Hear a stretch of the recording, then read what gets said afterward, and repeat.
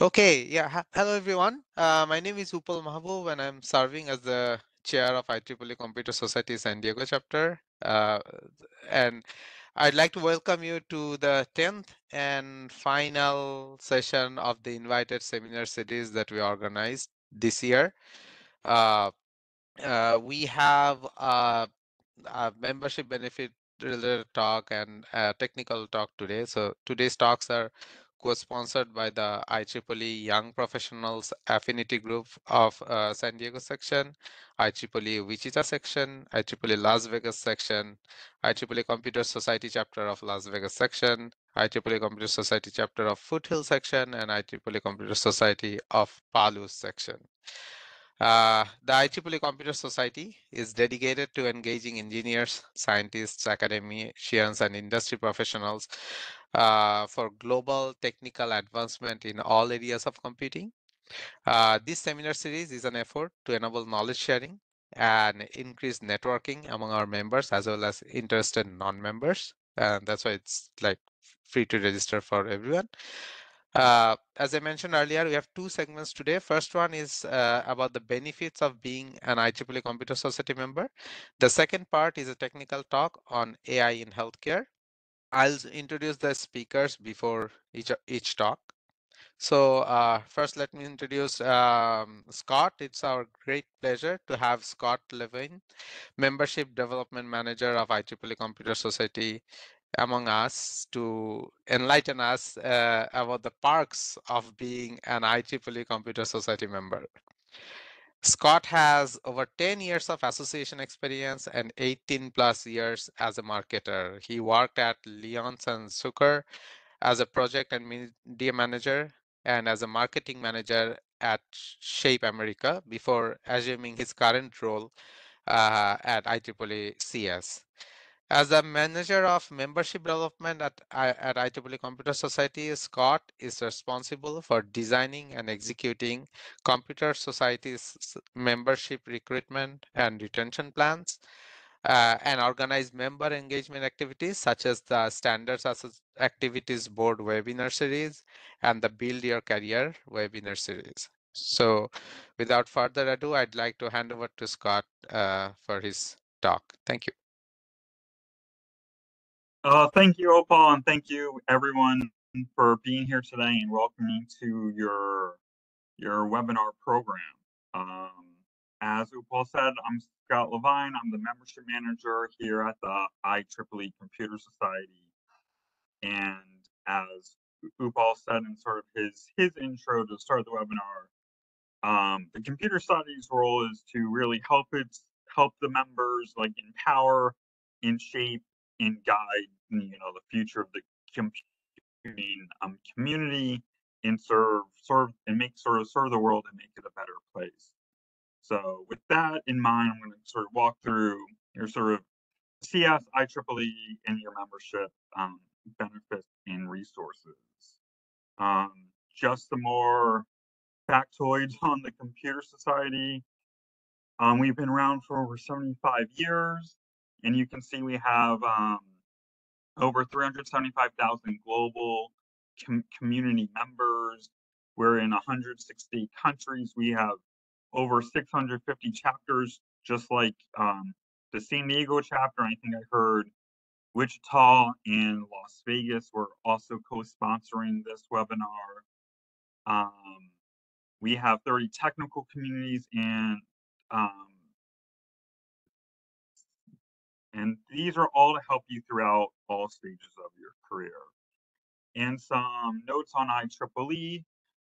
Um, they're actually, we just got a number updated today. IEEE is actually above 450,000 members. Um, they have over a thousand standards, and we'll talk more about CS standards later in the program.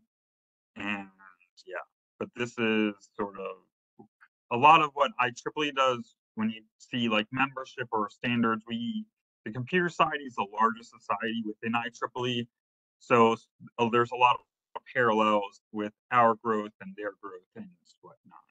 But going back to the computer society membership, um, there's really two types of benefits and resources. There's your content and then there's um, your involvement. So every member gets a subscription to our flagship magazine computer. They also get a subscription to Computing Edge. Computing Edge will be mailed to you um, if you live in the United States, which I think I'm guessing everyone on this um, webinar does. Um, you get 18 downloads to the Computer Society Digital Library. As a member, you get um, discounts on over 200 um, sponsored conferences events. There's nearly 50 publications you can subscribe to and get a discount on. We have continuing education, and there's also you can get recognized in your work for your the work in your field through our awards program. Um, excuse me. You can get involved. Um, we have technical communities, standards, activities. We have online communities like IEEE, Collabratec. We have diversity and inclusion grants. We have emerging tech grants. And you can get um, involved locally and sort of your, work your way up to a regional or global volunteer. A great way to start is with your local chapter. So you can ask Upal if you live in San Diego or um, reach out to the chairs or vice chairs that are on this call, I think from, um, again, Wichita or Las Vegas. And then if there are any students, students get everything you see on the screen. Excuse me. The only difference is they get unlimited access to the digital library and there are scholarship opportunities for them. Um, so I'm going to talk a lot about the content because that's one of the main benefits. This is computer. Excuse me. Um, it's our flagship magazine, as noted. It's delivered monthly. So um, there's a, you know, publishes the peer-reviewed articles written for and by computer researchers and practitioners representing the full spectrum of computing and information technology from hardware to software and from emerging research and so on. And it's um a great magazine. It's award winning. You can see the few months where the issue has won um, various awards. Um, again, going back to all the content, um, as mentioned, the 49 peer-reviewed publications, you can get a discount by subscribing to any of those by being a member of the Computer Society. We publish 41,000 papers annually, and you can download any of these 18, um, any of the 900,000 articles Sorry. through your 18 downloads that you get in the digital library each year with your membership. Um, this is our list of our magazines and journals. There's just 29 here. These are the ones we sponsor um, or sponsor from the that we're responsible for. There's another 20 we co-sponsor that other IEEE societies manage. But you would get a discount on those as well. But you can see the big breadth and depth of everything we cover. We have, um, you know, magazines and journals covering big data, cloud, software, emerging topics, mobile, um, multimedia, micro, security and privacy, and so on. There's, um, if you've been to any IEEE event or look through our calendar, you know there's the computer society covers has a big breadth and depth of coverage of everything that is um, that falls under computer computer science and engineering. Um, just some notes. Um, we have top magazines and journals. We have 12 of the top cited mag top cited magazines in computer science and engineering. The same for our 37 peer-reviewed journals. Um, here's just um, some of our magazines that won. Annals has won an award in 2022. Security and Privacy won an Apex Award in 2021, and we had who won a Folio Award in 2020. Um, and we have great journals that are that have great impact factors.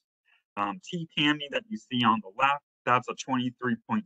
That's the highest um, our rated publication, all of computer science. It's actually number two in all of the 200 publications that IEEE as a whole puts out. I believe it's only behind Spectrum, which is the IEEE um, flagship magazine. You can see like our affective computing, knowledge and data, services and mobile are some of our highest impact um, magazines. I know about, I think close to a third of our publications are, some of our the impact factors from some of our.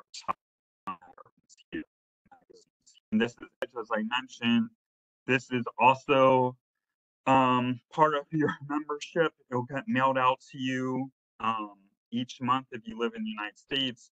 And it really curates um, a group of articles that all overlap and relate um, from all of our publications, generally our magazines. So might be a little hard to see on your screen, but you hopefully see um, on each cover, there's about three to four topics in a bulleted list. Those generally all sort of have some overlapping correlations, and they're generally pulled from one of our recent magazines. Um, as mentioned, we put on a ton of conferences each year. We do over 200. Um, this is a picture from, I believe, SC22, which is um, supercomputing. That's one of our largest. That's actually held in, in, November, right before Thanksgiving.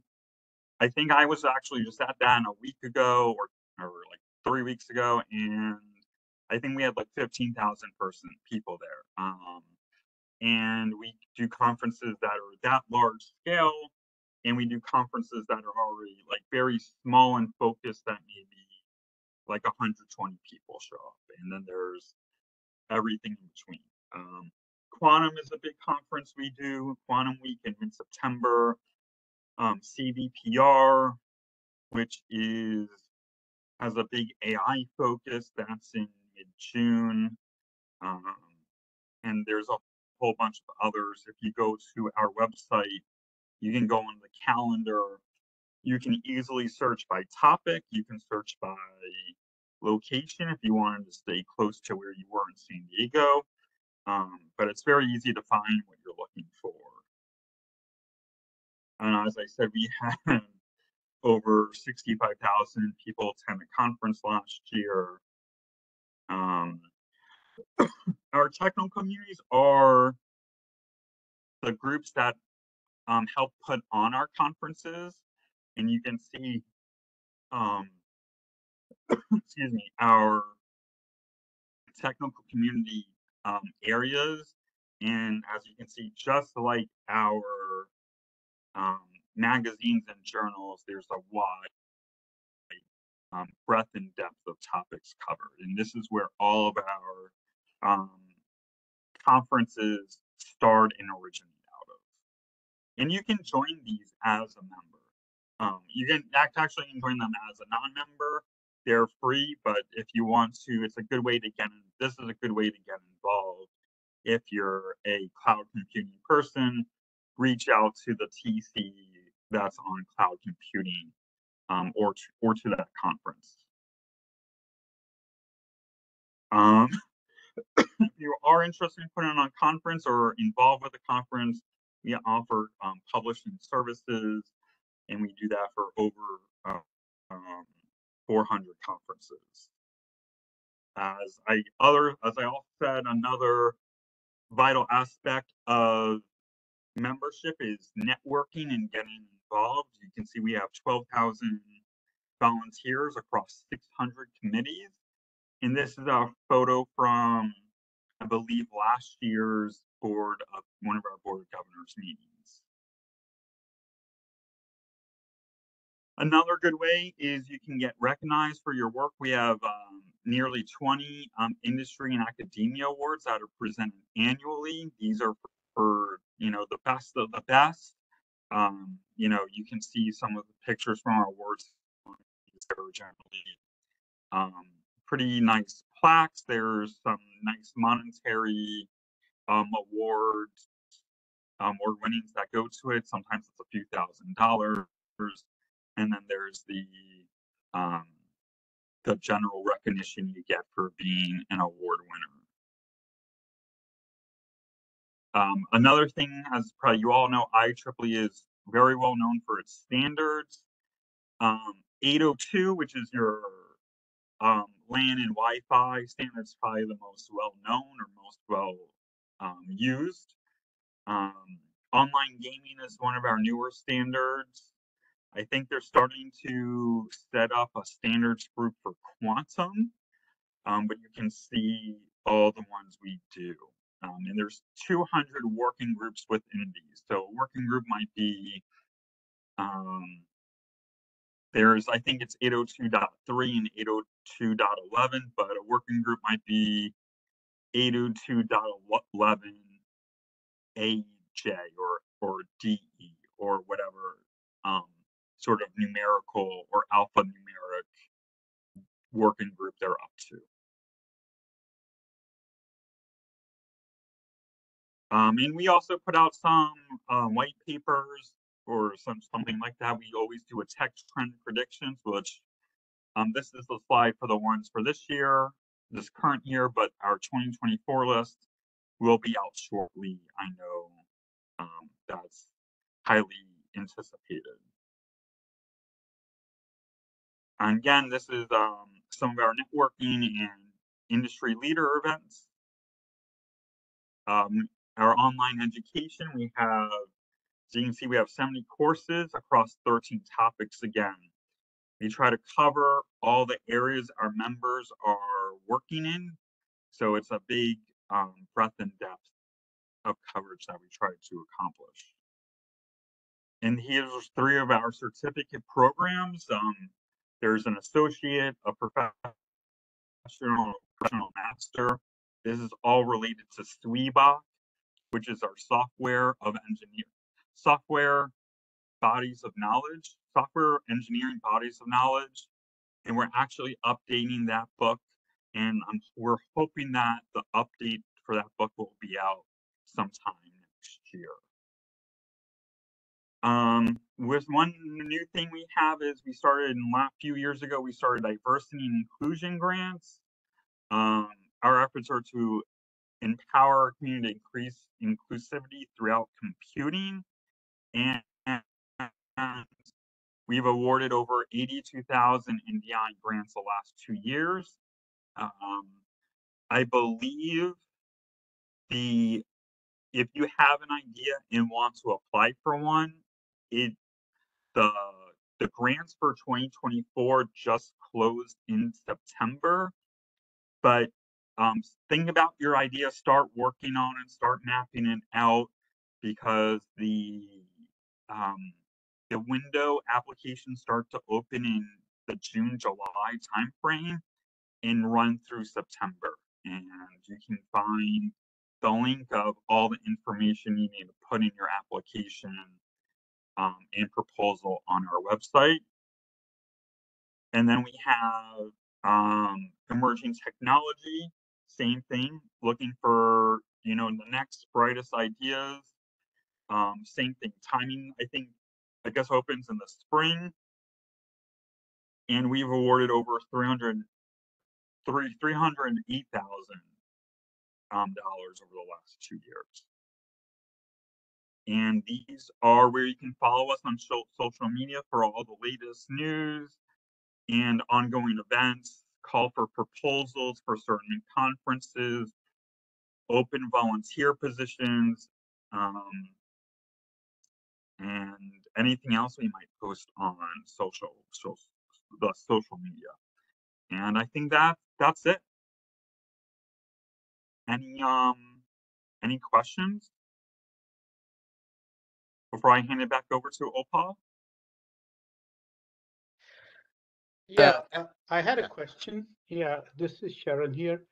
Um, uh, y- you invite us to connect to you through all these social media, but is there like uh, an actual website or email or like several of the awards that you uh, have that we can respond to or see and fill out an application there?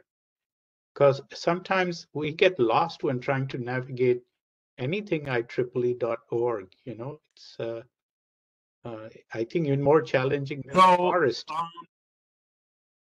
so I can put it in the chat when I X out of this. Um, the Computer Society has its own website of computer.org. Um, so these awards we give out, they are in Upal. I just saw put in the chat. These Yeah. are our awards. They're not IEEE awards. So you would apply for all these through. You can find all the criteria to see if you're eligible on our website, and then you would apply for them through our website.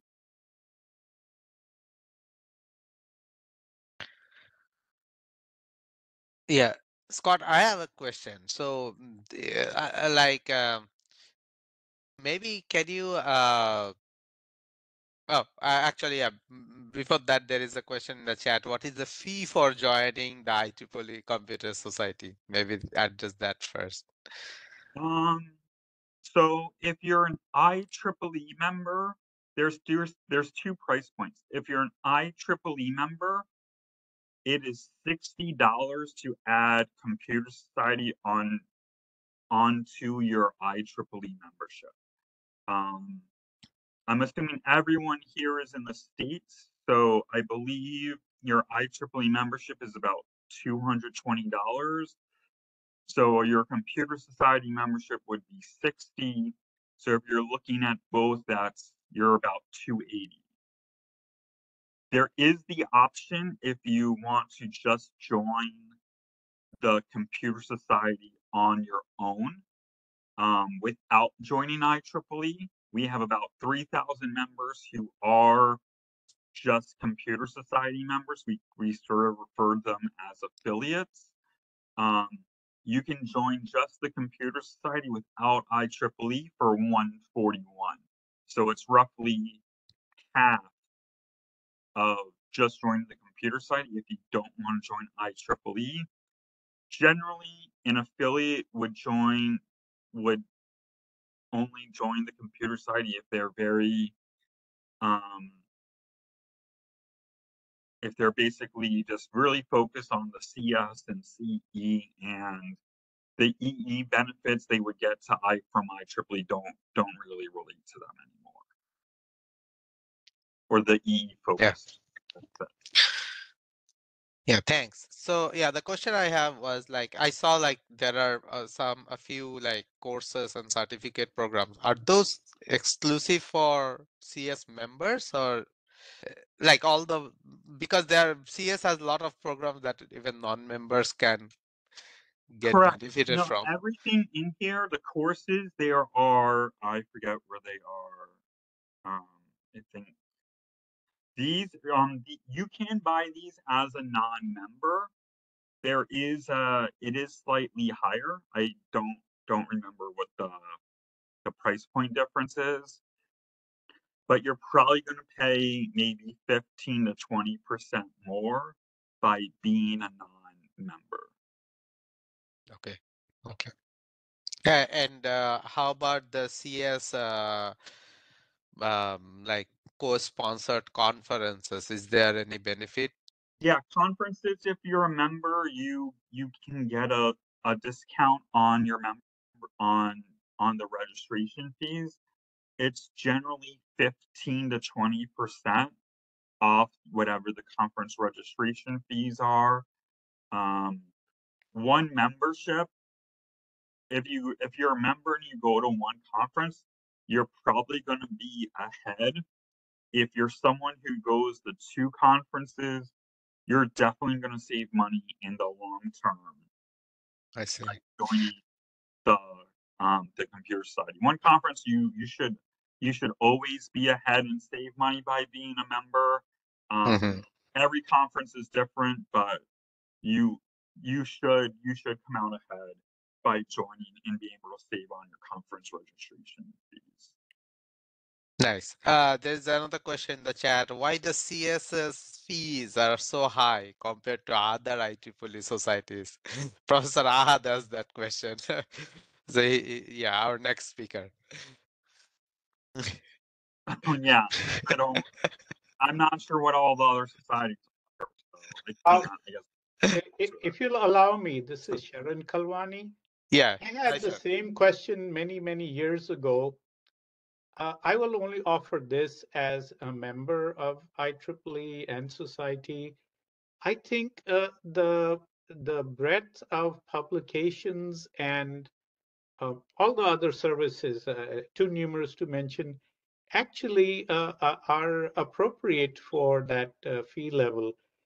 Many people think, you know, it's like other, you know, professional society. You get a publication and a few other things, but there's enormous depth in the computer society. So, you know, they do a lot of other things as well. So it seems uh, equitable to me. Just my two cents. Yeah.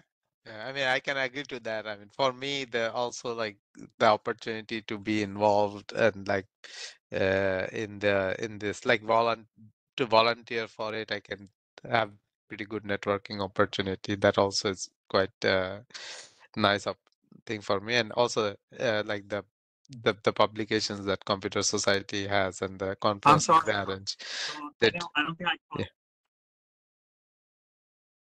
Sorry?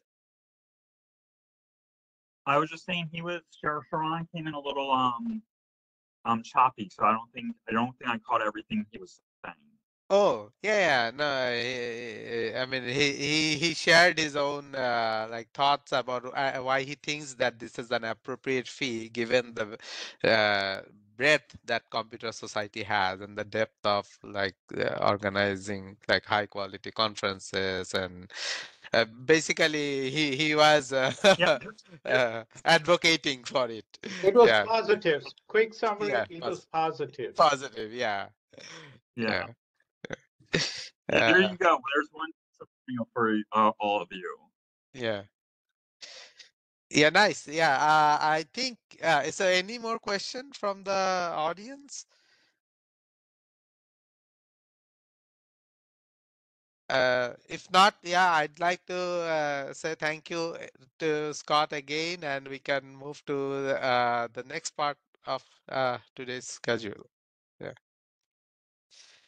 Uh, okay, so uh, Now we move to today's technical talk, and it's a great pleasure to welcome Dr. Mohammad Atikur Rahman Ahad, Associate Professor of AI and- ML at the Department of Computer Science and Digital Technologies uh, at the University of East London, UK.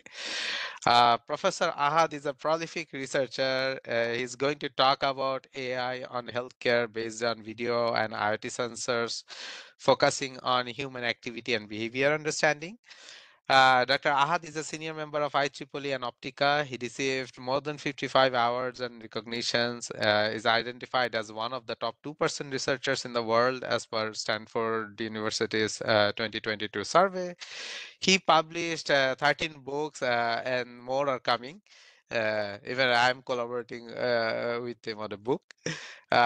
He has 220 plus peer reviewed papers and book chapters, and he delivered uh, more than 150 keynotes at many different venues around the world.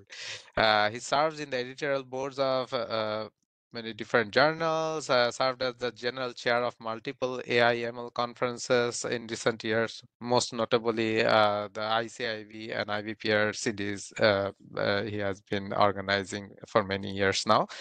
Uh, so with that, I'd like to uh, request Professor Ahad to to uh, like uh, take us uh, to this journey. Thanks. Thank you very much. Thank you, Paul, for your nice introduction and all the audience and Scott for your introduction about the computer society. I am part of it since long and I know its importance, but the question is not from me, from many participants that why uh, the computer society separately charges more than other societies and so on. But uh, I understand, and as uh, we got the answer, that uh, it uh, offers ample of other opportunities, and uh, there's the thing. And if you look at the yellow journal, the IEEE transactions PAMI, I, I can recall it. Like, I mean, how high quality, I mean, uh, publication it is, and the CVPR, ICCV, and this kind of things. Wonderful, wonderful works. So with that note, I thank the organizers, uh, the IEEE Computer Society and San Diego uh, um, uh, chapter for uh, having me. Uh, this is uh, my opportunity to share my some of our works and um, to have some further future collaborations so that we can learn from each other and have mutual benefits to develop the world and the research community. So um, AI in healthcare, we know that this is a very wonderful domain. AI is everywhere, people are talking about, uh, but uh, uh, with the progressions of AI in many different levels, healthcare, um, we have lots of opportunities uh, based on uh, video modalities or various IoT sensors, whether it's on-body sensors uh, uh, or, I mean, uh, some kind of smartwatches or mobile phone based or uh, some environmental sensors. So these are the things we explored some of the areas. I'll try to share some of those things. My name is MD Atikur Rahman Ahad. MD is not for medical doctor, so I can't treat your pain uh, MD stands for Mohammed. So if you find that MD and not a doctor or not a managing director, so uh, almost 100% he's a male from Bangladesh. Uh, so uh, MD, some people remove my MD thinking that uh, my MD is not needed. They start with Atikur Rahman Ahad. So, but MD is part of my name. So you can call me Atik or Ahad. So uh, I am at this moment at University of East London. I moved UK last year. So if you are around UK, just uh, feel free to knock me. I'd love to meet you and have more discussions. Uh, at the same time, I'm uh, a visiting guest professor of Kyushu Institute of Technology, Japan, uh, visiting professor of UCSI uh, University, and uh, another one in Turkey. And this is all about me. So um, I was at Osaka University until last year. I moved to UK and uh, if you visit, uh, that's fine. And this is my love, University of Dhaka, Bangladesh. Wonderful, beautiful place and beautiful campus. Welcome to visit my university. I still consider everything, my soul and love are here. And this is, I mean, outside this is wonderful. And this is the uh, hall for students called the exam hall. So we have centralized examination systems in the science and engineering faculties. So we organize all exams inside this building. So as long as you are a student you never like exams. And at this moment, I am at the University of London. So if you can fly to London City Airport uh, from Europe, there are lots of flights. And uh, if you can just swim, swimming and crossing uh, to UK border is a common thing. So if you can swim, then you can uh, knock my door. This is my uh, room. So welcome to our university of East London, we have several campuses. So these are two different campuses. It's a global university local roads, and uh, we are looking for industry and academic collaborations. So today's talk about human uh, mm, action or activity or working pattern uh, to explore those things for different healthcare applications based on vision and IoT sensors. So we know RGB because you can see my uh, RGB images. Uh, from these, we can uh, extract skeleton data. Mm, so by using special sensors or, I mean, OpenPose, Alpha, AlphaPose, YOLO, uh, the recent version 8 and so on. So we can get the or i mean motion capture system so we can get the various skeleton body joint points uh, and can consider that the privacy is no more problem more or less. And uh, also you can explore the depth images.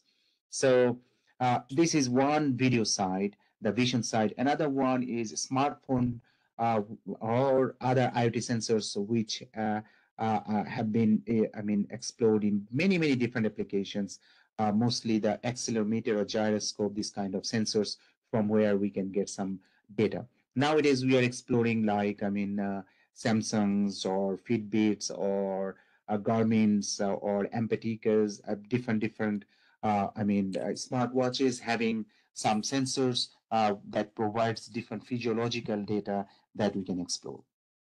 There are many different applications, especially healthcare, but some others. Uh, I'll de demonstrate some of those things. Uh, like video surveillance, we are not working that much. Uh, sports video analysis, understanding someone, uh, uh, and especially hospital rehabilitation center, smart houses kind of things, and fall detection, uh, falling down detection at the same time. If we can predict before someone is falling down, this will be very interesting applications and so on. Activity analysis for daily exercise monitoring, remote uh, monitoring outside hospital. We call it remote patient monitoring or remote person monitoring. These are increasing and other as well, like elderly care, dementia, or Parkinson's disease cases, remote patient, and so on. We know that remote patient monitoring uh, is nothing but an innovative use of some digital technologies and AI to track health status to improve health outcomes. And it's a huge, huge, I mean, uh, mm, uh, uh, prospect. And uh, the global uh, remote patient monitoring systems market will be worth over, I mean, 2 billion in the next several years. so that's huge in different, different cases. So we can explore and we can improve human life. But the problem we'll see more or less is the data. So we cannot make a system without a good amount of proven ground truth and trusted data. Uh, and based on this, we can make a system. So people are trying, we are trying, uh, some lots of uh, industries are trying. Hopefully, uh, some smarter and better systems will come that will, uh, I mean, help people. So some examples regarding uh, this one, extremely important area we have been working on. Mm, I mean, I'm new in this field but uh, this is a highly important uh, area. So that's why I put it at the beginning that antimicrobial resistance, AMR, which is considered as the silent pandemic by the expert. Why is it? Because it's one of the top healthcare problems globally. Uh, according to WHO, uh, mm, it's uh, one big problem, and that's why they, uh, I mean, have a division called antimicrobial resistance division because of I mean, uh, if you are coming from uh, some developing countries, not everywhere, but uh, uh I mean, many places we know that antibiotics are, I mean, misused, uh, overuse or uh, misuse of antibiotics. So what happens that, I mean, mm, people suffer because bacteria is smarter now. So they become drug resistant and you cannot kill the bacteria, whereas bacteria are killing us. So, I mean, 5 million deaths per year is, I mean, unbelievable amount according to World Health Organization. And it's increasing and it will be much more in the future unless we find uh, strategies uh, to kill the bacteria and how to know their resistance, how to know the enemy, for example, and their behavior. So we work on human activity where we have lots of data, we have lots of features. But uh, in the bacteria domain, when we go for bright field images or, for example, mm, fluorescent images, we don't get enough features from those bacteria and uh, to get lots of data use that classical uh, or advanced uh, machine learning or ai scheme to that domain and to get good results to understand their behavior it's not easy so this is uh, the problem. So the, uh, our goal is to find uh, some strategies based on AI and mm, and so on. So if anyone is working in that domain, please later on contact me because we can discuss and share our challenges and opportunities to work together. Another uh, work we are doing uh, related to healthcare is thermal stress understanding. So think about that. I mean, heat related deaths have been increasing uh, all over the world. I mean, only uh, mm, last summer, few weeks, I mean, it's uh, uh as, as if uh, a person from Bangladesh, uh, this heat is not a big deal, but still we notice that more than 56,000 deaths in England and Wales only, according to this report, and it's a government report. So only, I mean, a couple of weeks, summer heat waves. So it means that it is a dangerous problem and globally it's uh, increasing and we know that indoor temperature and external air temperature will increase by several degrees uh, within the next uh, 40 50 years so that will i mean make the uh, situation more disastrous. So, and there are lots of elderly people uh, who are staying uh, mm, at home without the proper ventilations or proper, I mean, heating management and other things. So, how to do this kind of thing? So, uh, one strategy is that using I mean, physiological data and uh, indoor and outdoor environmental information, if we can extract uh, something and predict some danger situation before someone, I mean, gets a stroke. So this this is uh, very important. Another point is that when we work, it's not only thermal stress. Like for example, I'm giving a presentation. Say I, I am under stress. Some people are under stress. So whole day I work too hard. Say uh, I last one week I didn't have a good sleep. So what will happen? That I have thermal stress, I have work stress, I sometimes may have mental stress. So when we have multiple stress incorporated at the same time, then it will be much more severe. Now, can we understand? So uh, with our collaborators, we are working for that. Uh, uh in Japan, uh, the data was collected with Empatica uh, mm, E4 sensor with one company, Fujitsu, and then the data was collected uh, by creating three different, I mean, thermal stress situations indoor, and also we collected it externally outdoor for those people who are working in extreme heat situation. And then uh, we are, I mean, trying to understand the relationship uh, of thermal stress and other stress and any possibility to uh, to predict the danger situation. So it's a very complex work, need a rigorous data sets. So there are not much work. We need to do much more. So uh, that's the point. So I mean to uh, uh understand heat and go for heat analysis based on environmental parameters and physiological parameters like heart rate variability, galvanic conductance, and other information, and so on. So uh, we are working on. Uh, it's good uh, but um, much more to do. Actually, uh, recently in Germany, uh, uh in a challenge, global challenge on, I mean, heat stroke prevention challenge, our team we won and got the third prize as well. So that's good. Another related work on mental stress or mental health or well-being at the same time productivity prediction related to current situation you see that i mean because of covid pandemic uh, we become used to telework and office work more or less. Many of you are working uh, partially at home, partially at the company. Uh, mm, and during that time, I mean, many people switched their work uh, to, to uh, from home. Now, what is the point now? I mean, did you study that which one is better for which kind of people? And, um, these kind of things are very important because we want to ensure the mental well-being and mental health of the staffs when they work at home versus work at office or mixed. And at the same time, this is, uh, I mean, uh, a society where we always think about the productivity. Okay, so mm, there there should be a balance, but mental health is important. Now, for that purpose, with uh, I mean, uh, NTT the uh, uh, we collected data from real staff for more. I mean, more than two weeks and 100 people. They gave us, I mean, full data. That data uh, will provide us uh, the physical and mental health, the work productivity, and work-life balance and family functioning related information uh, to see the positive and negative impacts. It's not easy to find because human psychology is extremely different and difficult to understand. Even for the psychologists, they cannot comprehend someone's problem properly. Now, the goal is that when we work uh, on these kind of problems, we need uh, to understand the relationship between work behaviors and physical and mental health. Now you see that now I am talking uh, uh, from my desk. So it's a known environment. But if I talk at uh, from the in the university, even in my room, probably I'll be less relaxed because whether I'm shouting too much or whether somebody will knock me to dis I mean, discuss something because I'm in my room.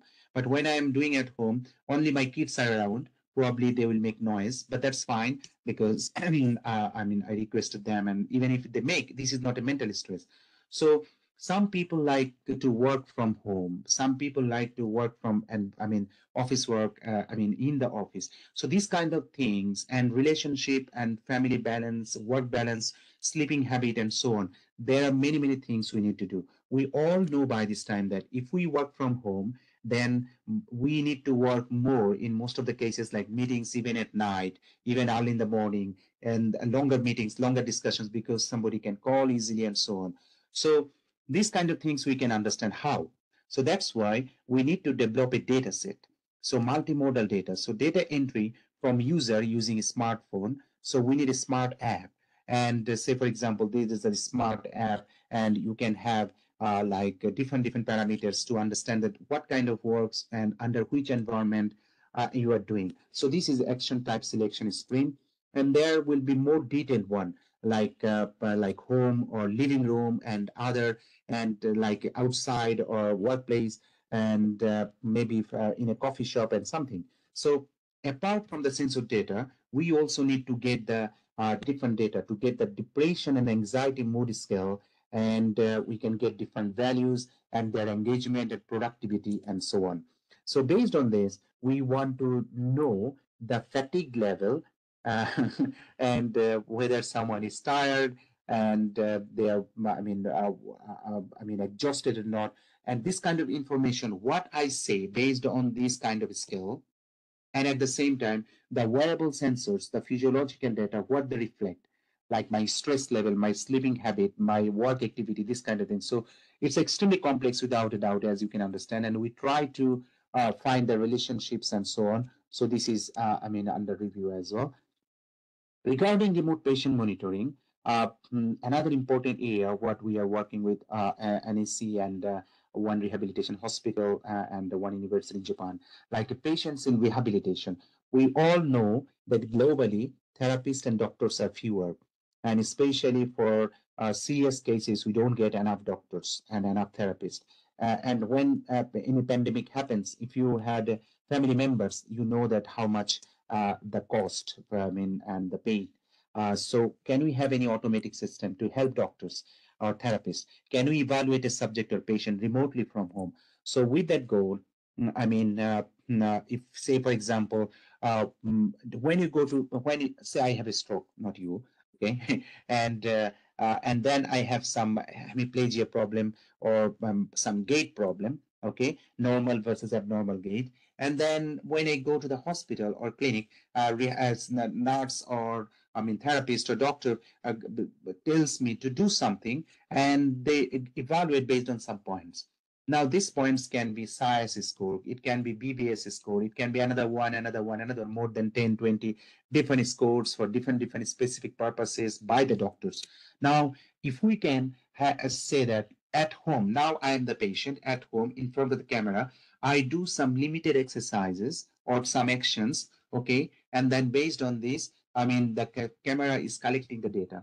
Now, if we say privacy is a problem, which is genuinely true, and especially if I have problem uh, like healthcare or rehabilitation, I may not be wearing proper clothing every morning uh, when I am in front of the camera. It's not possible sometimes. So on that case, if I use some sensors or, Kinect sensors or something, video is not collected. From there, I can get the skeleton data and uh, do something so that I can uh, model the human posture and predicts uh, estimate some score which is i mean closer to the doctors. Now this is wonderful idea. People can do it. But the what is the first problem? The first problem is to get the data. Now how will you get 100 200 500 1000 patients and their ground truth data at the same time they will provide you the health uh, related information and it should be extracted and then work further. That is the other part. So collecting data, especially from serious patients and others, is not easy. And we collected data for more than two years and got only 122 or alike, I mean, patients. And when you collect data afterwards, you find that there are different, different problems and you cannot consider all the data. And many cases, this kind of uh, healthcare data are not open source, not open, uh, open for all. So this is another big, big issue. So with that considerations we need to work so just one thing like for example you see that i mean SIAS score for each action doctors give zero to five. Zero means dead. I mean, you can't do it. And five means normal and vice versa. So many, many different things. And you can see uh, without understanding the whole thing, just assume that from the red means that from the video, we cannot get the information as doctor did. Like sometimes we can see the first one, zero to five, doctor gives that the your ability to raise the hand like this and go down and go up and so on. Do it three times. If I can do it normally, then doctor will give me five points. Say I have stroke this side, unfortunately. Then I try and I do like this way, halfway.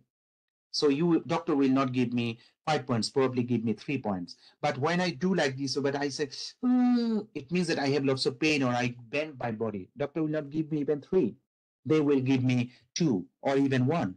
Now the point is that when we collect the I mean video data and do the analysis based on the skeleton or depth image or maybe on body sensors, can we understand the physical expression?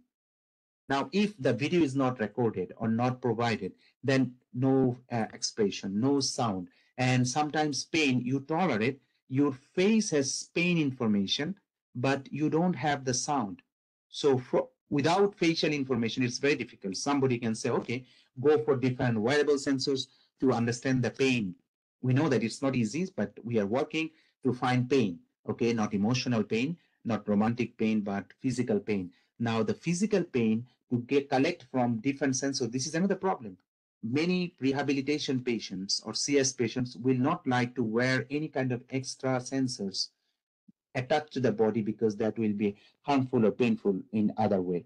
So there are different different challenges, but we need to work with that. Another action you can say that finger function test, like doctors will touch and I mean and check the things and ask you some questions, you give some feedback, but it's not possible. And similarly, it's this is easy, this is easy, but from skeletal data, it's also very difficult, like this kind of foot patting because th- this is a, sut- a very subtle differences you can find. And then at the, another point is that, for example, uh, if you use Kinect sensors or any kind of uh, methods, the edge points like fingers or I mean feet, these kind of uh, cases, the joint points are always noisier than other points. Okay, midway the points are better, but edge points are not good. So what happens that you cannot consider these kind of things as well. So sometimes we need to assume that based on the ability to extension of knee or hip flexion, probably the person has this one good. So instead of considering five points and five points, probably out of 25 points, you need to consider five, five, and five, 15. So, and these kind of things, that there should be much more strategies to uh, find. So the goal is that from videos or skeleton data or depth images or on-body some sensors and multimodal, if we can extract some features and estimate some scores, that would be wonderful. But can we get all together? Regarding pain, pain is one information you remember here, uh, uh, that pain is considered one of the items. Now, if you have pain and still you can, I mean, raise the body but doctors can uh, ask you, but uh, uh, the camera cannot know or sensor cannot know. So uh, we need facial information probably, or probably some sort of IoT sensors to extract better data. Sometimes can we extract sound? Because if we can extract sound and uh, you, uh, and understand that this is abnormal sound, then that would be mm, easy as well. But it will vary from culture to culture. Some people are tolerant to, I mean, pain and so on. So, and multimodality issues, I mean, uh, we can explore many, many different things. So the goal is that we want to study the progress of uh, human activity or gait walking pattern and try to understand normal versus abnormal. And just not binary decision. Just like in the world we are not a good guy and a bad guy. We are fuzzy people. Like uh, especially if you uh, have a good family then uh, your spouse will sometimes say that you were the sweetest person and sometimes maybe uh, something at the bottom level. But most of the cases maybe average or upper level okay? So it means that quality. So instead of giving binary one or zero we get in between some values. If we can understand human activity and behavior based on scoring mechanism for a, a mm, longer period uh, to evaluate their activity, not just typical action recognition or classification rather than action quality that would be excellent for healthcare perspective. And that will help us remote patient monitoring perspective or hospital or care at home without visiting therapists frequently.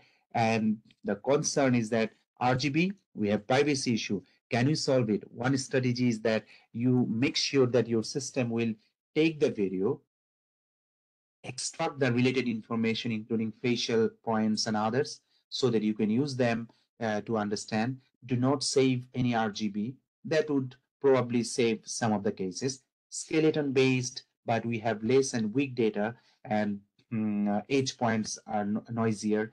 Can we get something better? Sensors, any patient discomfort, especially when they sleep or sit down. So we need to make sure what kind of sensors will be more appropriate or maybe if I say now at this moment for the last, I mean, hmm, uh, uh, two months, I'm having some frozen shoulder, shoulder pain. Severely, you may notice that sometimes I touch and do it because I'm having pain.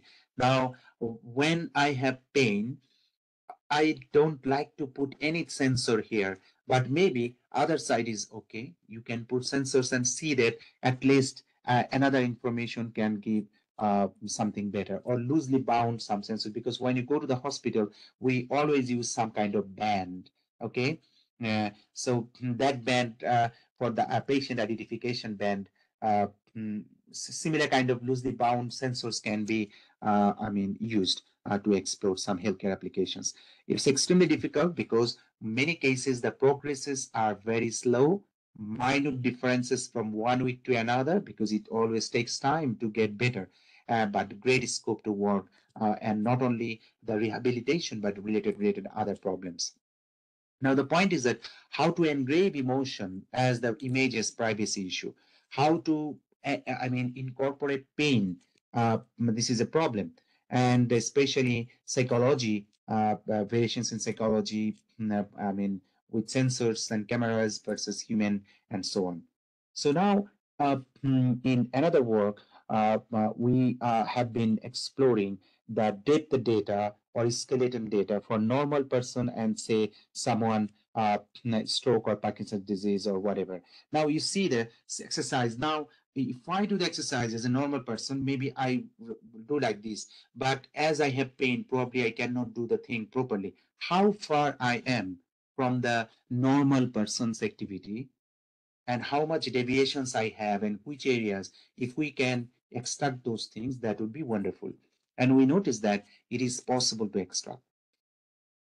Now back to the sensor base again, uh, that uh, we uh, recently, I mean, uh, in uh, Parkinson's disease wearing off recognition challenge uh, uh, by one university from Japan. In that competition, uh, we become second position. We got the second and not the first one, unfortunately. But that is extremely important and we have been working on that project like parkinson's patients wearing off periods so if you have any family members who have parkinson's disease you might have noticed that they take some kind of medicine and the medicine will stop the vibration or uh, i mean uh, problem so uh, the Parkinson's disease if a pause, and then after seven hours or eight hours, you need to take the medicine. But what happens with time? The impact of the medicines are gone. So anti-Parkinson's disease medications, it re-emerge the of symptoms prior to the next medicine intake. That is called wearing off problem. Off means, I mean, the medicine is not working anymore. Then what we need to do? We want to know that part if we want to, if we can know that uh, before, I, so it's normally family members, or I know that after six hours I need to make medicine, but four hours gone and I started, uh, I mean, vibrating or uh, trembling like this way, or walking pattern problem, or I feel weaker or something problem, then this is an issue. Now, most of the cases, dementia patients uh, cannot recall when to take the medicine. Sometimes we need family members to support. Now, what will happen that if we can know based on say I have uh, these sensors. Actually, uh, we are using exactly this Garmin uh, mm, one. So, mm, uh, so Garmin smartphone, it has some sensors. It will collect data, physiological data and other data. And then based on this, we can uh, mm, get the information. And we want to determine the next occurrence of wearing off uh, and so that we can find some solution. So that's the point that wiring off periods data set is developed and uh, to, to, get the drug intake information and based on this uh, if we can do it we can help parkinson patients pd patients and uh, hopefully it will be good it's not easy again because uh, as i mentioned that uh, we need data set from the real patients and real patients longer period data set for i mean for many patients it it is not easy. And we know that i mean uh, normal activities like walking running jogging these kind of things are pretty similar more or less okay? Unless you're usain bolt then your running is different. But a pd patient if we consider 1000 pd patients and their activities if you uh, don't go to the hospital just google it and get i mean uh, uh, learn from 100 different videos. And you see that the patients their movements their stabilities and their i mean gait walking pattern all are different and uh, it's not easy. If you work with hospitals you know that i mean how difficult life is and we feel great that we're still at home and healthy and so on. So uh, this is one. Another important area we are working on remote monitoring uh, related to autism therapy so autism uh, is a, a, global problem because there are more autistic children than the past, people say. But at the same time, uh, being from Bangladesh, a developing country uh, uh where autism is uh, highly ignored, many countries, developing countries, autism is uh, considered something stigma or even mental disease. And there are very few hospitals, uh, to support them later on schools for their education and social awareness. Now it's much better, but when I I grew my life, like uh, my teenage and others, I uh, never knew that autism uh, is what I know now. Now, what happened that if you have autistic children at home or family members, you know that there's a diverse, we cannot solve everything. But say the conditions are not so serious, they go to the school, they do different kinds of therapy sessions.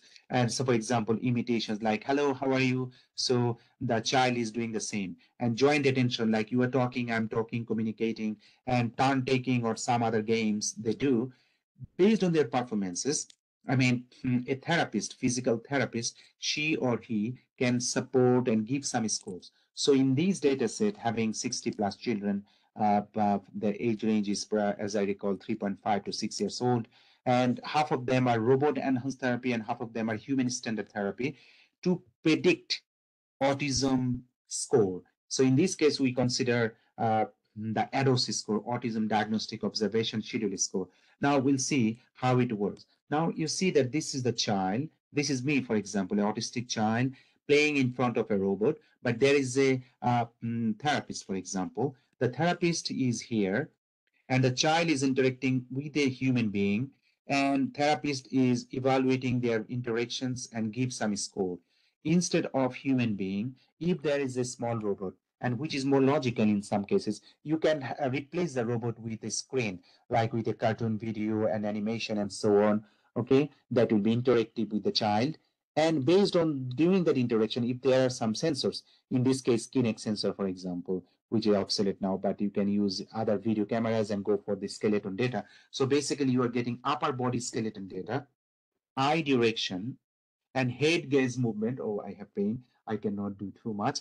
Okay. And based on those information and some other, I mean, actions, how long they do, it takes to do and so on. If we can make and understand uh, their, mm, I mean, uh, ADOS score, which is the goal to predict their score with time to time. That would be one important uh, work. It's extremely difficult with, I mean, data from 60 kids. It's not possible to uh, furnish anything, uh, I mean, cohesive, but we need to work more. And again, uh, recently we applied for uh, you uh, big fund with 10 different partners globally, but I'm not sure whether we can get it. I, I hope that they will give us so that we can start a big data set and try to do something more and if anybody is interested, to provide data or have some uh, uh, school and collaborations and so on, I'll be delighted because this is one of my areas I want to explore further and detail. Thank you. So recently, now, now we also developed a new data set uh, hmm, for autistic children. Uh, at this moment, this is the largest data set as we understand. Uh, the previous one, uh, not enough, I mean, images. This is a problem because we can have lots of typically developed children's data set, but when it comes to autistic children uh, hmm, or uh, children having ASD, it's very difficult to get data set. so this is a problem. So then we developed two methods uh, and uh, our result is good. But this is not the goal. The goal is to make a larger, stronger data set that will reflect uh, the true presentation of human being as well as, I mean, uh, uh, applicable to work so that we can get better one. Now, somebody can ask that why face is needed because only from face autism is extremely difficult. Do you know? Yes, we know that it is not possible to understand only from face uh, uh, confidently. But think about the corona time. During the COVID period, what we did, we just checked the thermometer. And then if we find that my temperature is high, even though I didn't have COVID, I was passed somewhere or entered somewhere and something like this. So temperature was the initial point. If I had COVID, but still the temperature is low, I was supposed to go. So it happened in many, many cases. Now, similarly, like if we have face face based, so I want to enter a, a small child, six, seven, or so four, three, four, five years old. I want to go to the kindergarten and others or others elsewhere, or in hospital. Many cases in many parts of the world, we don't care. We consider that the child is behaving probably a bit different, but it's normal because many ch children uh, they behave many different ways and uh, uh, whatever they do we become happy it's very difficult to understand and many cases we do not understand the early stage of asd and we cannot support the kids uh, so that they can be better so the goal is that if only from the facial image like we want to go to a school or kindergarten or shopping center or somewhere and there is a small cameras collecting and then if they there is an automated system which is profoundly driven by good data set and then it can predict that probably I have ASD or related things. Parents or school teachers or guardians can consider this and check further to see whether there is something or not with the related professional. So that is the goal. But only from face is not easy and not justifiable uh, globally. Regarding healthcare, another important area we have been working for the last several years uh, called Nurse Care Activity Recognition Challenge. Uh, when we started this, uh, there is a challenge uh, again from Japan, but it was a part of ACM UbiComp, Ubiquitous Computing, is one of the best conferences in the world. And the next one, and also with the fourth International Conference on Activity and Behavior Computing, ABC, okay uh, hmm, uh, by the way the sixth abc will be held in japan so if you are working on activity behavior uh, mental health well-being video based activity or sensor based activity uh, or behavior please please uh, hmm, uh, consider this conference and submit papers. It will be held in japan but also hybrid we are developing a good forum for that purpose. So that is the marketing part but or publicity part. But apart from that uh, hmm, I'm saying that this uh, Nurse activity recognition challenge has been going on and our team participated uh, um, uh, uh, different teams and we have very good results. We won a couple of times. But the goal of the data set is to understand that nurses they do many different activities.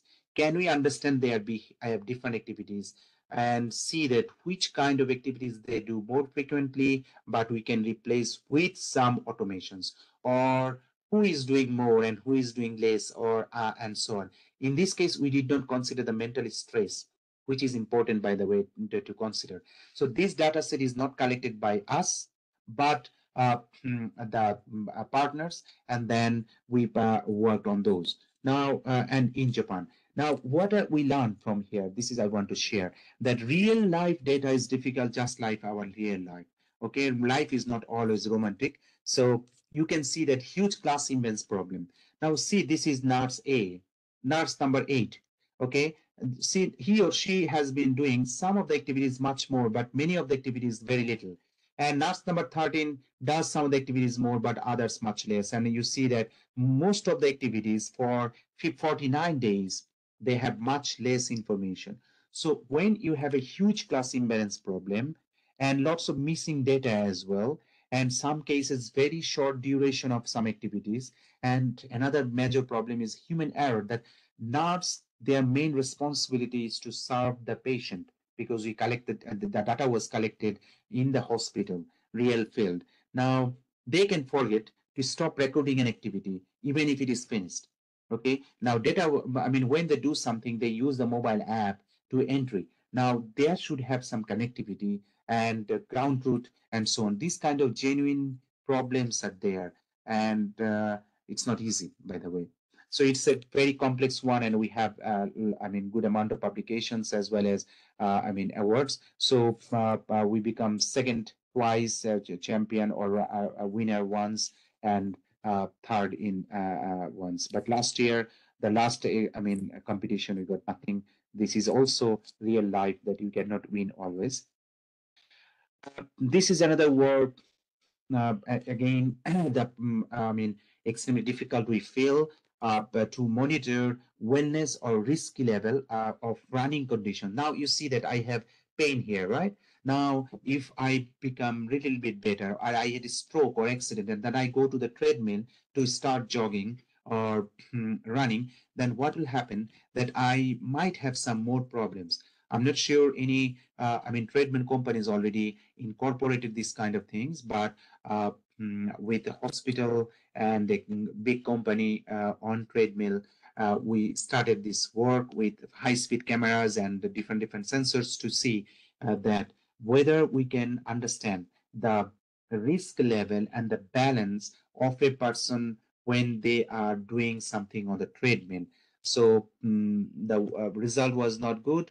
Uh, much need we need to do much more. At this moment uh, we stop this project but uh, i'm interested if we get partner to work on that. Elderly person monitoring system this is another one uh, mm, uh, mm, to understand and to develop design setup and demonstrate with multimodal cases.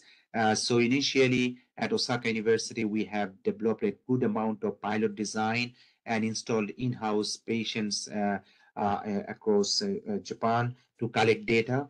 Initially, the RGB or depth cameras was forbidden because they said that privacy issues. But when we tried different different things, we noticed that I mean, as I mentioned earlier, if we cannot save uh, don't save it and ensure the privacy issue of those things, then we can go for data collection.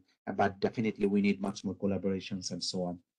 Uh, now with Nokia Bell Labs, we started this work and uh, we have two works uh, uh related to wearables. Now you see that we all use what you call it like uh, Bluetooth devices. But the Bluetooth devices, if we incorporate any IMU sensors, then it can, or other sensors as well. So uh, in this case, the eSense device from Nokia Bell, uh, mm, uh, it has the IMU sensors. So when you put the IMU sensors, and then we developed our own, uh, I mean, apps to collect the data, different activities, and go for, I mean, machine learning approaches. The concepts are, are, are very simple, but uh, mm, the tasks are really difficult to understand because, I mean, the differences between two, uh, I mean, sets of IMU sensors uh, doing some activities uh, it's not easy. Yes i mean if we do normal activities these are okay but what about eating habit to understand swallowing problem or socialization through speaking communication have when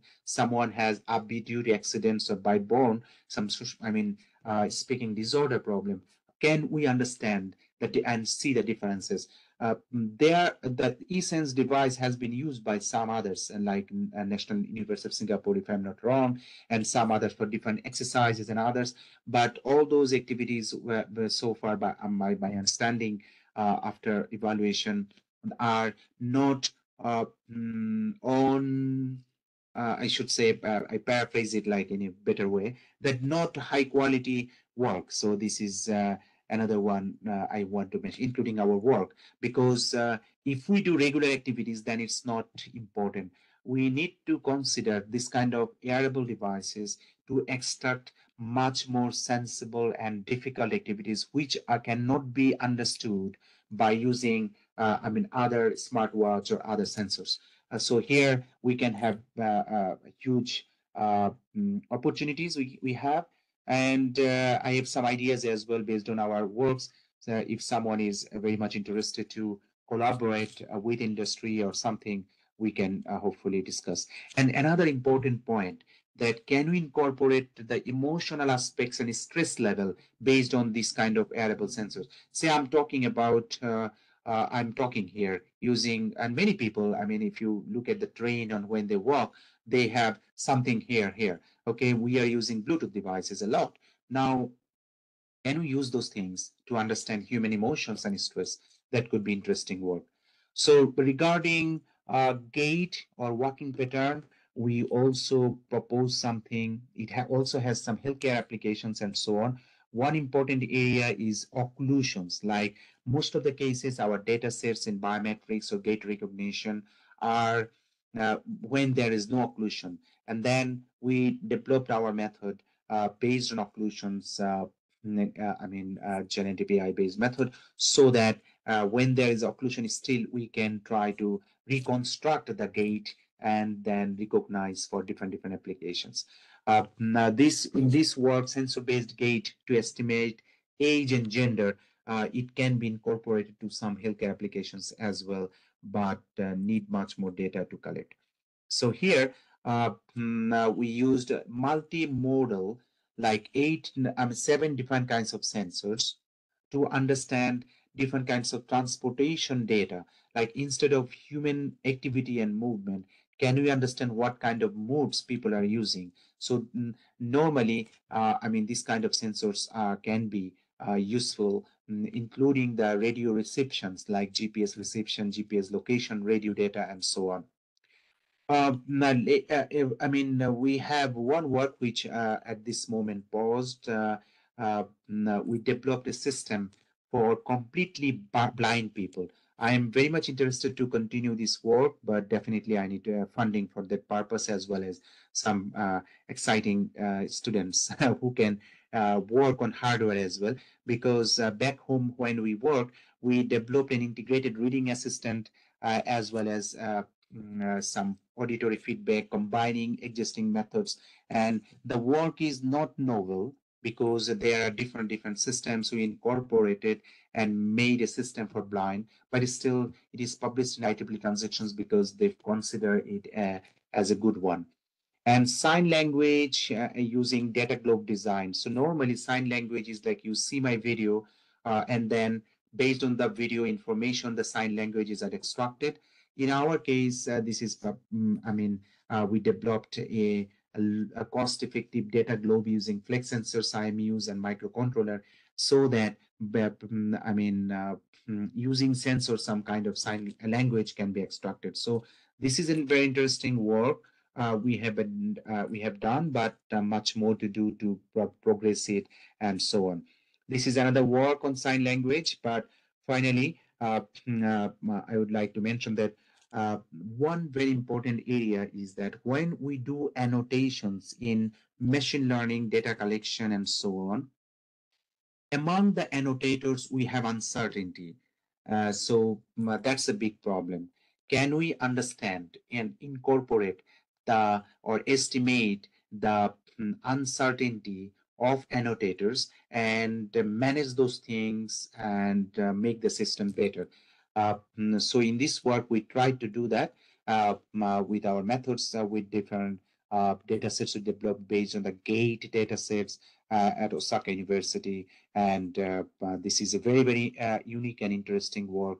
If some, it will have much more applications in the future if somebody considers. So in this novel work, we try to uh, hmm, uh, develop a method uh, that is uh, incorporating the annotator's uncertainty and use those things uh, to improve the method and so on. So uh, within my 50 minutes time, uh, mm, I'd like to conclude that action or activity based on RGB or skeleton or depth or sensors.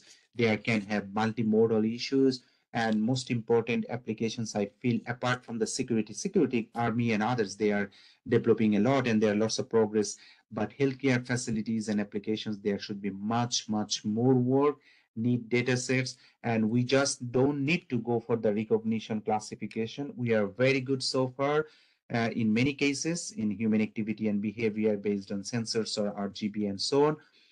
But prediction, predicting the future that whether I'll fall down or not, or evaluating like quality of action or scoring, these are very, very important. And what about uh, emotion and psychology and diversity, mental well-being, which are extremely important to understand. So with that, I'd like to thank uh, you all uh, for your time. I'm looking for industry uh, and academic collaborations. Uh, now, mm, so I love to discuss with more because I have lots of ideas and I've been working, but uh, if we have bigger partners globally, then we can genuinely uh, do more and learn from each other. And as I mentioned earlier, uh, please uh, to this conference, sixth International Conference on Activity and Behavior Computing.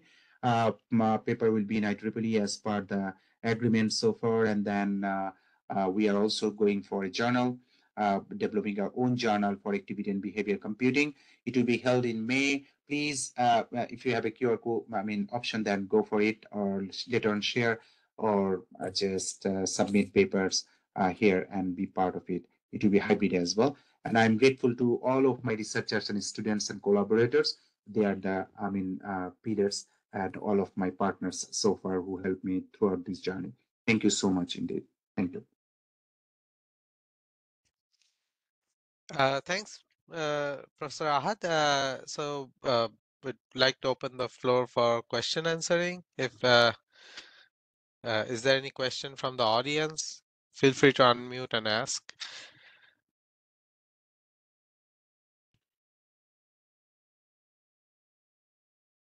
I, I do have one question. So have you considered using like a virtual or augmented reality headsets because those are packed with sensors.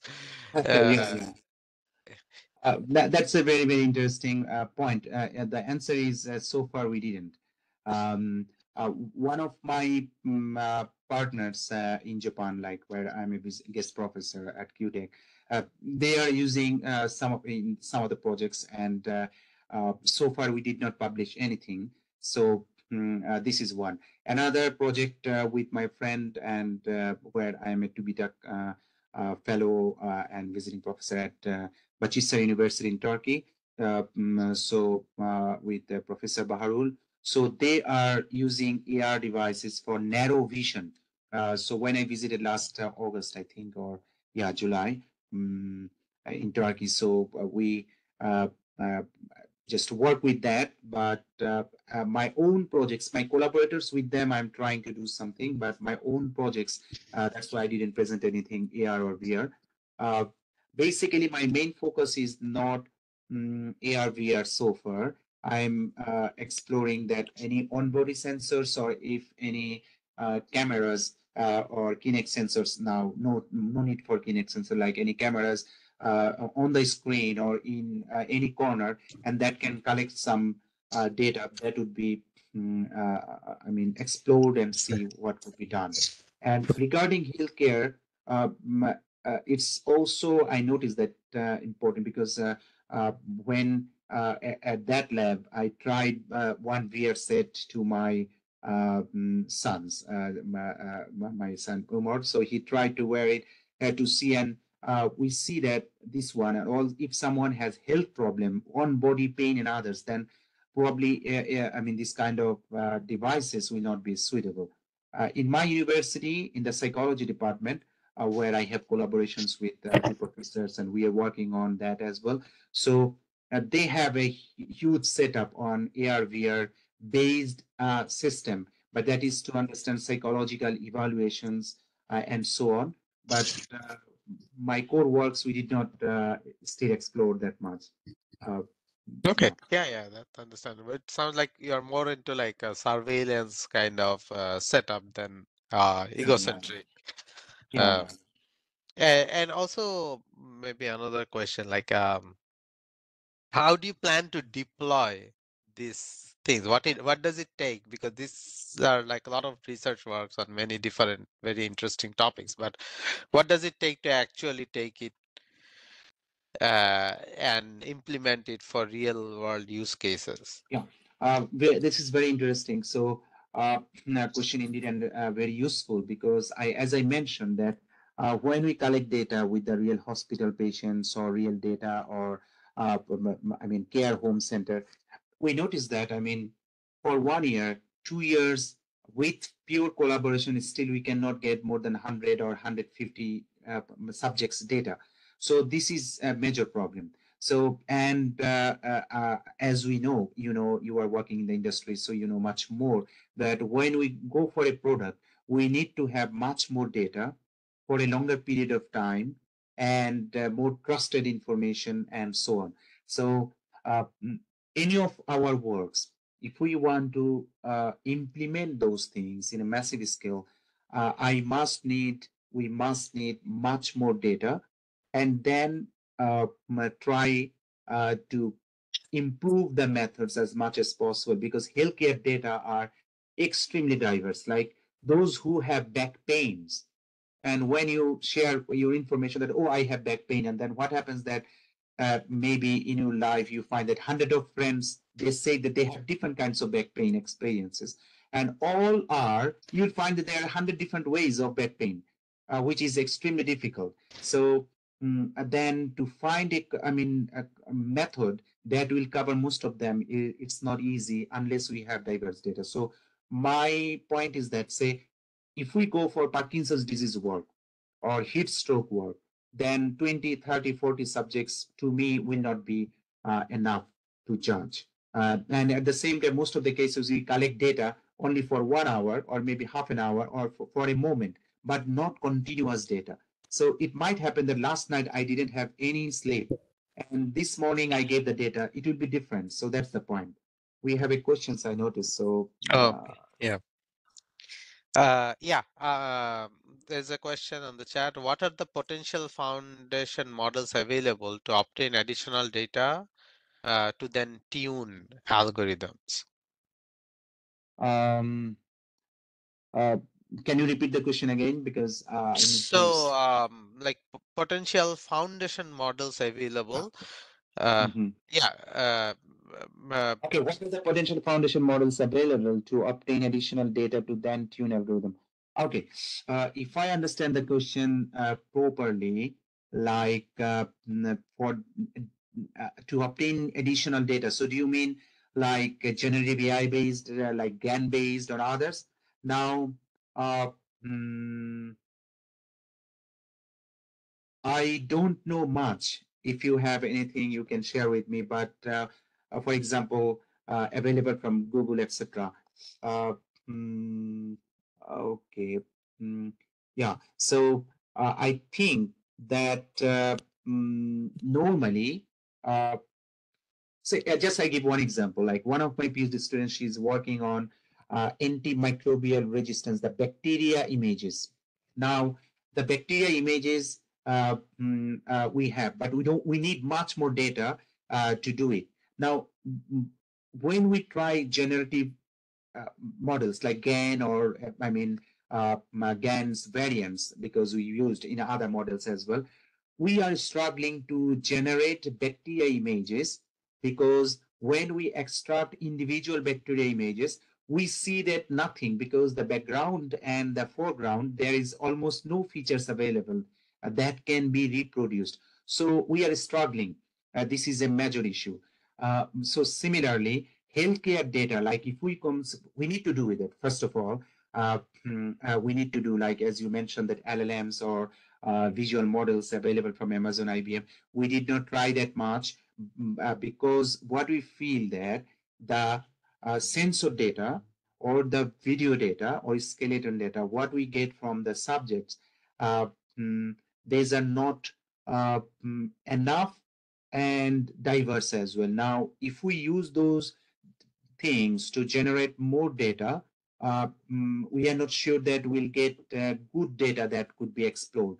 But we are trying little bit. Uh, for example, in another work, we are trying generative AI based data augmentation based on partial data and to see that say partial data is available like uh, one part of the body from that the, uh, I mean data can we extract the entire or predict the entire body data with some information and so on it's not easy. And uh, another point is that whether it can be trustable um, this is number two. Number three is that for uh, I mean healthcare models we must need the relative ground truths for each and every case. If we do not have the ground truth, like for example, the stroke patient's case, we have for every actions, every patient's doctor, the physicians gave the score that out of 75, what is the score of the patients? And each individual actions as well. So if you recall the um, uh, um, for example, oh, we did not try any genome or stem biological work uh, till now. Everything is uh, non-genome or uh, not stem-based. So if you look at this um, score, now here, uh, yeah, this one. Now, if you look at here, that in this slide, we have so many different actions. And if I remove the chat, then what you see that, I mean, for every different actions, like seven different types, and it has subsections, all of them from zero to five or zero to three.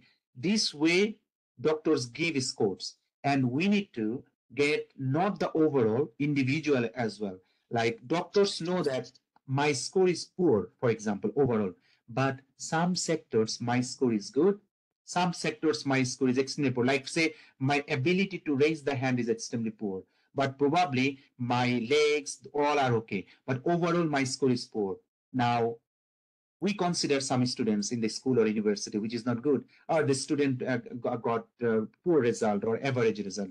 Probably not. Probably the student got poor result in some of the subjects or modules, but in some of the areas the student is excellent. So doctors also judge like this way. So when you go for generative data and no ground truth, like getting the proper score, corresponding score, or corresponding evaluations, that would be very difficult to justify to the doctors or physicians or even the patients and so on. But again, to improve the results, we are thinking, as you said, we are thinking, and uh, in few areas we are trying a little bit, considering, uh, I mean, a large language model based, as well as, of course, GAN is there for more than nine years, and we have been exploring GAN and its uh, variants, uh, children, and so on, mm-hmm. and we already developed some of the GAN-based variants for uh, different different perspectives and published papers. But we need to do more, especially in healthcare data is very much challenging and uh, not much have been done or we need to do much more. Thank you for your okay. wonderful points and other points you mentioned uh, we'll check in the future. Thank you. Uh, thank you, Professor Ahad. Uh, so I think, um, yeah, we don't, we are running a bit out of time. So I'll just uh, go to the last very small segment of the talk. Again, I want to thank Professor Ahad for the wonderful talk and he covered uh, quite a bit of like, uh, like of his own work and also touched upon a lot of many different uh, challenges in the in healthcare uh, and applying AI in healthcare. Uh, uh, we have this last portion because this is the last talk of our uh, invited seminar series. So I'd like to uh, this, so this is basically the closing event. So I'd like to take a few minutes to give an update about our like uh, like the activities uh, that computer society did and some announcement so uh, announcement wise we are actively looking for uh, volunteers like vice chairs for next year uh, and um, so if anyone is interested to uh, like actively work uh, with the computer society uh, and next year we are planning many excellent exciting events uh, so please contact me or Charlie. Charlie is, uh, one of our current vice chairs and he's present in this meeting. Uh, to, and let us know your interest and we'll be happy to like uh, um, like collaborate and uh, and uh, like um, include you in our like technical discussions about this uh, organizational things. We are also looking for a webmaster to to kind of update our website regularly and also help us promote these sort of events on social media. Uh, and this year, uh, we this is the 10th talk of our invited seminar series, and next year we plan to start a new series. Uh, um, and uh, this year, all the talks were virtual. Next year, hopefully, we'll also be able to host some in-person events in San Diego. And we also uh, apart from these 10 talks uh, we also co-hosted more than five events a few of them were in person we co we co-hosted with uh, IEEE San Diego section, uh, the Orange County section, and ComSoc, and and like some other um, affinity groups and sections uh, of IEEE. And uh, and also we uh, i mean we uh, we had a very like a, a set of like co-hosts for each of our events and uh, like uh, for this event uh, as i mentioned earlier the IEEE Wichita section las vegas section and pa section foothill section computer society they're all like part of this event. As always we'll upload the, the video to our youtube channel uh, so that for, for later viewing uh, i've already received like many interest. Many people could not attend just because of the time. Professor ahad it's late in the night in the uk and he is attending from there. Uh, and finally, I'd hand over to uh, our current vice president, uh, vice chair Charlie, to um, to say a few things. And uh, we also invited as our some of our previous co-hosts and uh, Charlie share one of the messages from from from them. Hi, everybody. Um, first of all, congratulations, Paul, on, on the last of a fabulous year, a great year for our members. Uh, I had the previous record for holding meetings and it was six. It doesn't compare to year 11. Very good. And your the quality of these meetings is outstanding. It's Yeah, wonderful. thanks. And it's free. It's free for members. Um, anyways, there, um, we have a note here from, um, this is from the Young Professional Society. And they were thoroughly impressed with the seminar series that the Computer Society has organized. And they've consistently brought value not only to the Computer Society members, but also to young professionals by engaging with us talks from renowned speakers on very relevant topics and very current topics. They are particularly enjoyed and learned from talks on Chat GPT and AI. And they thank us for letting them co-host some of these meetings to keep keep their own members up to date. And they look forward to hopefully doing the same in 2023. So, and again, if if anybody's interested in doing any kind of uh, work would help us do the meetings, which is um, um, basically for selection committee, also people doing advertising, blah blah blah, and people supporting the meeting itself um, by greeting members and so on. And we also have a lot of giveaways for when we have um, in-person meetings, please see me or Upal. And thanks again, Paul, for a fabulous, the best year in the history of the Computer Society. Uh, thanks, thanks for the kind words, Charlie. You have been fabulous as well. Uh, thanks, everyone. So that with that, we'd like to close this uh, like seminar series as well as this meeting. Uh, thanks for joining. Yeah, I, I'll Thank share the very much. Yeah. later. Yeah, thank you, Professor Ahad. It was really nice seeing you. Bye. Goodbye. Thank you.